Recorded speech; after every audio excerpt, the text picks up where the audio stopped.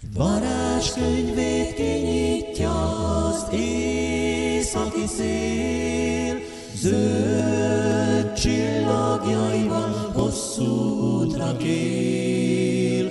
Türkisz papucsát, rőt szakállával befonja, a téli szél rózsát szakít, kibomlik pontja.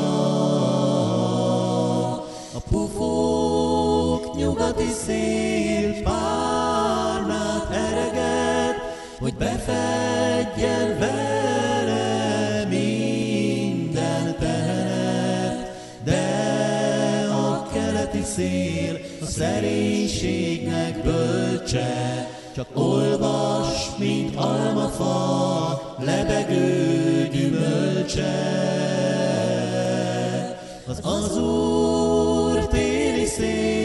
ciklámen asztalán, bíbor tündérkéig sorakoznak ám. Kikeletté változnak, rabságuknak vége, s önmagukat festik a rég nem látott égre.